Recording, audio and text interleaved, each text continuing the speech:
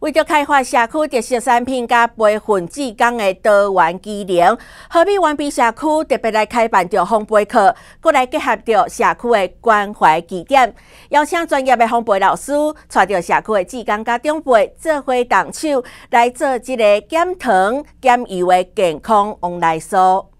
河美湾滨社区为了开发社区的特色产品，甲培训技工的技能，特别开设烘焙课程，邀请专业的老师来教大家做饼干、面包。为了迎接特别来个中秋节，老师也特别安排制作王来酥这款应景的糕饼。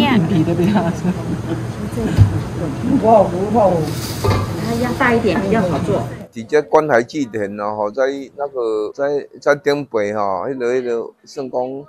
可以动动脑筋，可以有可以安尼洗洗的空间吼，啊，搁搁有迄个啥属于迄有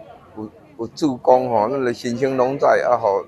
政府咱斗三工，互咱有迄个机会，关来或者老老人吼，啊，有迄个，互伊做一个活动安尼。啊。因为中秋节即将到了。凤梨酥是对最代表我们台湾特色的甜点，大家对这个凤梨酥都非常的喜欢。我特别设定了低糖低油、比较健康的凤梨酥，让大让这些长青组吃的比较健康，他们的参与性非常的高。这次他们都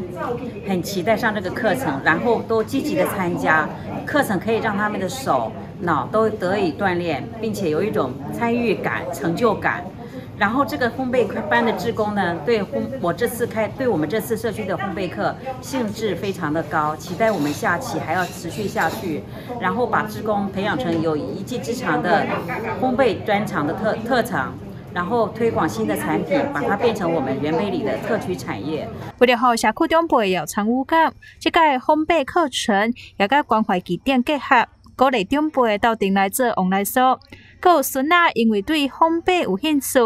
刚刚带着阿妈来社区上课。本身对烘焙很有兴趣，然后知道今天阿妈要来社区上课，要做凤梨酥，然后特地跟阿妈一起来这边上课，跟她一起学习。但求新理事长指出，为了推动社区饮食发展，推出家己的特色产品是真重要。真正真感谢刘静老师愿意来替大家上课，共同打造美好的社区生活。多中华新闻叶红武何必彩虹报道。